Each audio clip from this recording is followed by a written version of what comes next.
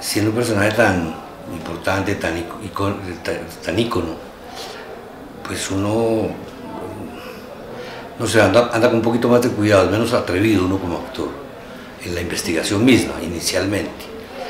Eh, pero pues yo tengo como una, una manera de trabajar muy clara cuando son personajes conocidos o son personajes vivos o personajes así tan recientes. Yo no hablo con familiares, con gente, no.